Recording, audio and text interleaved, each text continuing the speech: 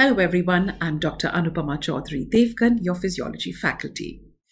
This is the daily quiz series in the run up to NEET PG 2025. I am in week three of these series, and today I will be covering general physiology and muscle physiology. Tomorrow I start with renal and GI tract.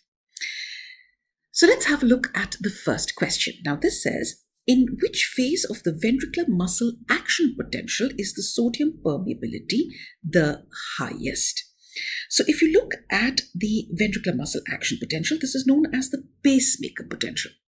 The pacemaker potential has got five phases, phase 0, phase 1, phase 2, phase 3 and phase 4. Now, phase 0 is the depolarization phase and this is the phase which is due to opening of voltage gated sodium channels, and this is due to a sodium influx. And this is the phase where the sodium influx will be the highest. So, phase zero is the phase in which the sodium permeability is maximum. Now, let's have a look at the other phases as well. Phase one is the early repolarization phase. In the early repolarization phase, there is a closure of the sodium channels, which decreases the sodium influx, plus an increase in the potassium efflux. In phase 2, along with the potassium efflux, there is a calcium influx through what are known as the slow calcium channels.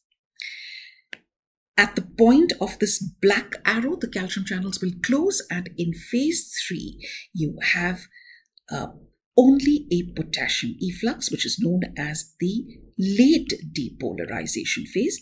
Phase two is known as the plateau phase. Phase zero, depolarization. Phase one, early repolarization. Phase two, plateau phase. Phase three, late repolarization. And phase four, there is a closure of the potassium channels. So answer to this question becomes A. Let's look at the next one. It says given below is the length tension relationship. Now, what is the length tension relationship? This is also known as the Frank Starling's law. This is applicable to skeletal as well as to cardiac muscles. It is not applicable to smooth muscles. Now, in the length tension relationship, we take the initial length of the muscle or the sarcomere on the x axis and we take the tension generated on the y axis. The length tension relationship is applicable to isometric contractions. Now, as you can see in this graph, more the initial length, more is the tension generated.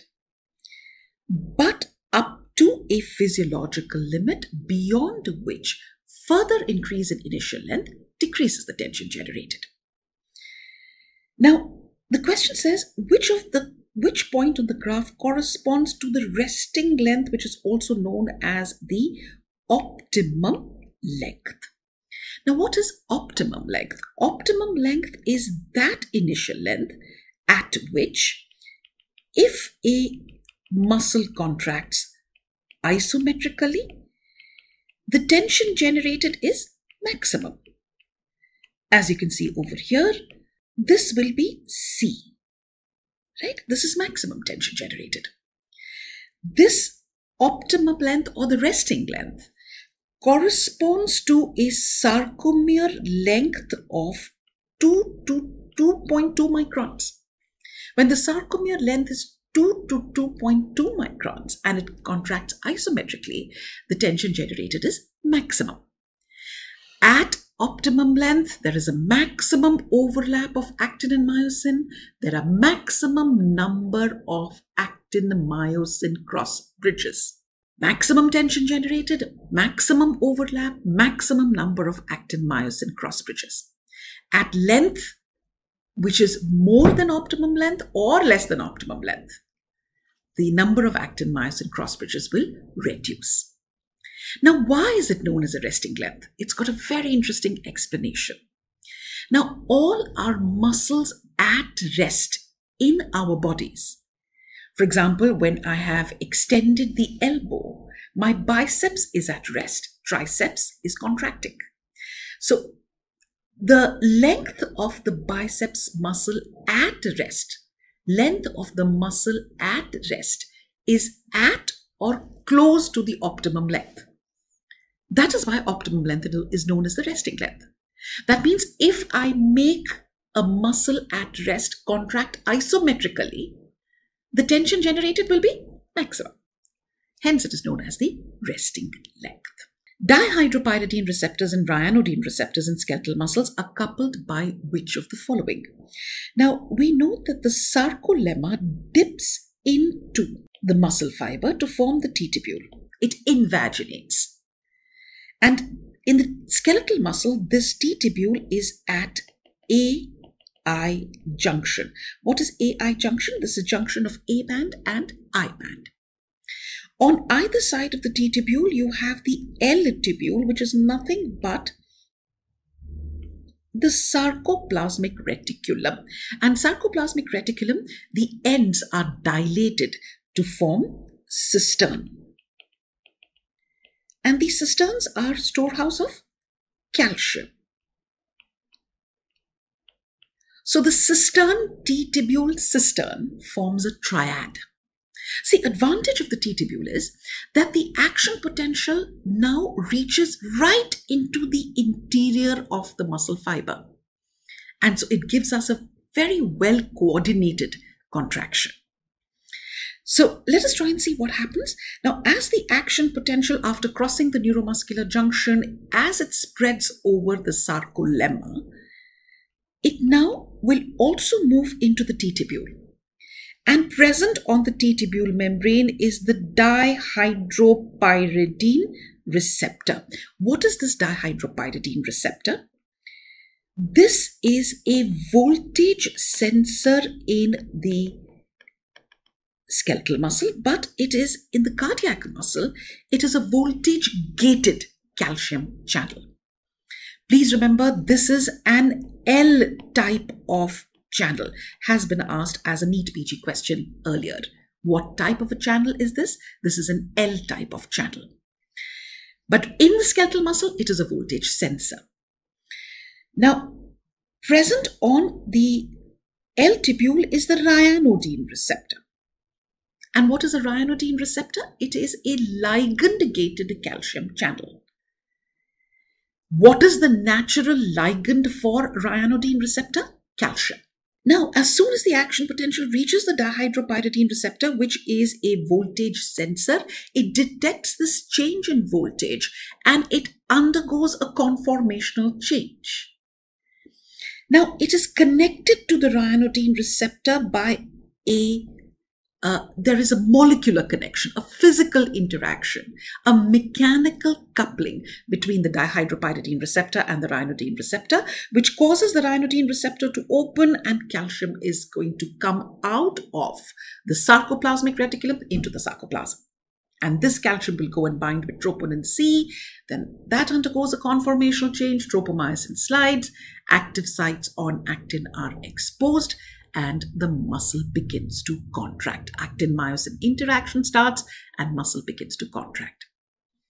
So, this is also something known as excitation contraction coupling. The electrical activity, that is excitation, is converted into a contractile activity by the release of calcium. So, which is the excitation contraction coupling agent? Calcium. So, two, three important points. Dihydropyridine receptor in skeletal muscle is a voltage sensor. In cardiac muscle, it is a voltage gated calcium channel. What type of a channel? L type of channel.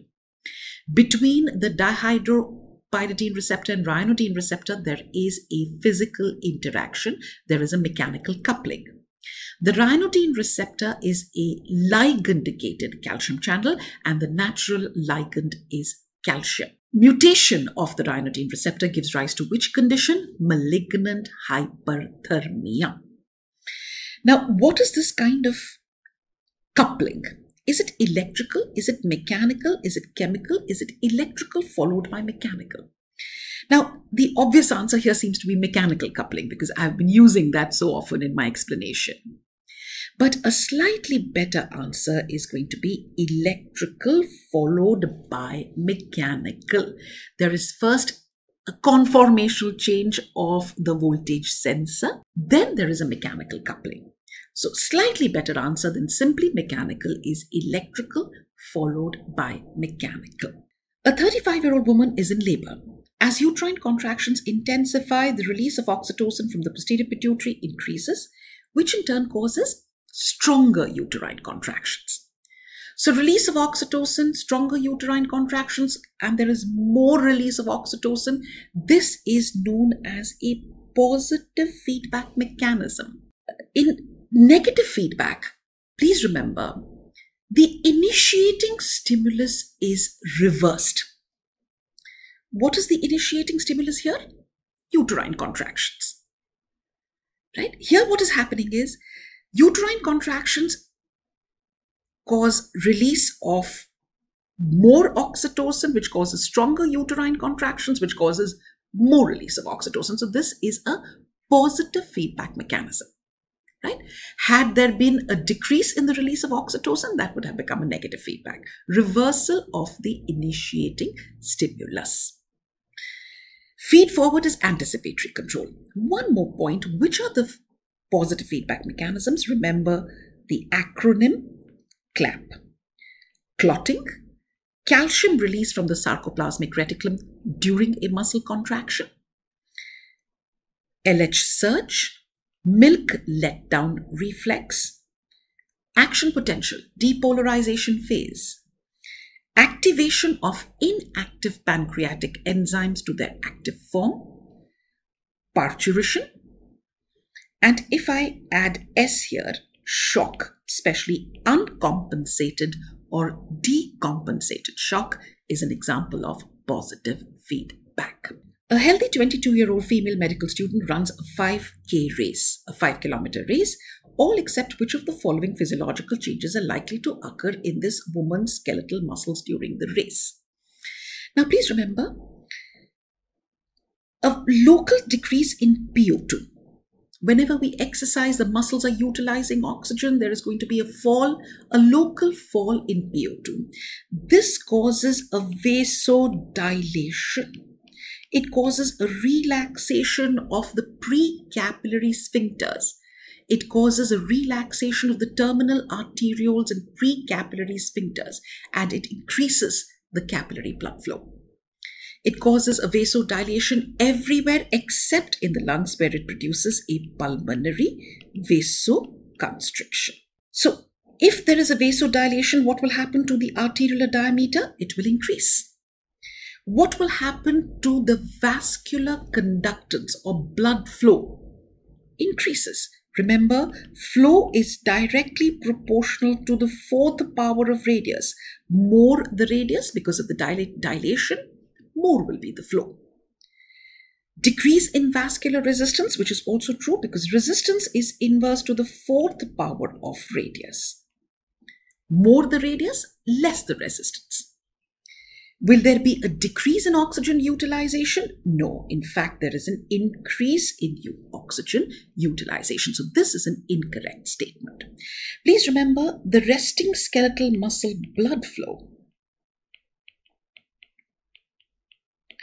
is just 3 to 4 ml per minute per 100 gram of tissue, but during exercise, this increases to almost 70 to 80 ml per minute per 100 gram of tissue. There is a huge increase in skeletal muscle blood flow during exercise, and this increase in skeletal muscle blood flow is because of local metabolites. What are the local metabolites? A decrease in PO2, increase in PCO2, increase in lactic acid, increase in H+, increase in adenosine, increase in temperature. All these factors combine together to increase the skeletal muscle blood flow. Of course, during exercise, there's also increase in heart rate, increase in force of contraction of the heart, increase in stroke volume, there is increase in cardiac output, but locally at the level of the skeletal muscles, there is a vasodilation, which increases the skeletal muscle blood flow.